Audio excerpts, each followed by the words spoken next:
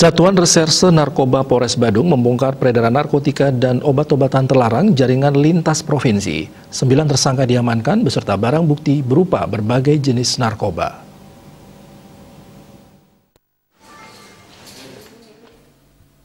Dari sembilan tersangka yang diamankan ada beberapa jaringan lintas provinsi berdasarkan barang bukti ganja yang disita polisi. Kapolres Badung AKBP Robi Septiadi mengatakan Sembilan tersangka tersebut berasal dari jaringan dan kelompok peredaran narkotika yang berbeda-beda. Adapun para tersangka di antaranya adalah Putu Brahmana, Putra Suryawan, Asep Saiful Rohman, dan Di Harmodis, I Agus Adiartana, dan Luh Putusiwi. Jumlah keseluruhan barang bukti yang disita yaitu sabu 53,49 gram, ganja 105,322 gram, dan tembakau gorila 3,79 gram. Para tersangka masih menggunakan modus tempelan dan lebih banyak jaringan terputus. Ada yang disimpan dalam bungkusan kaos kaki maupun rak sepatu untuk mengelabui petugas.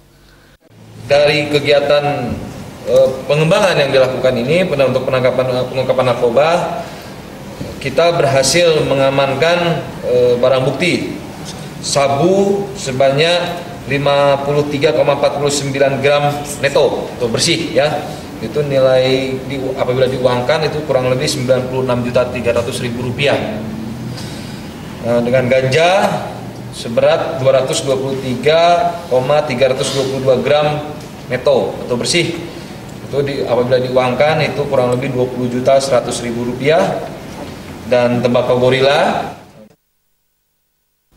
di samping itu, Kapolres Badung juga mengimbau agar pengguna rokok elektrik mewaspadai adanya modus-modus penyisipan tembakau gorila dalam rokok elektrik.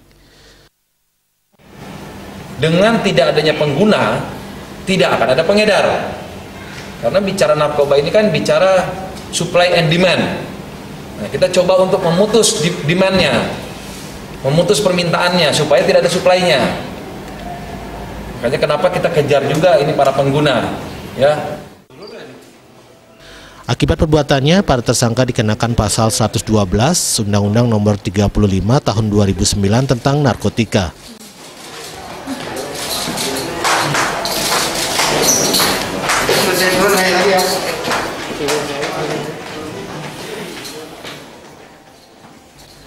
Raiswantara Bali TV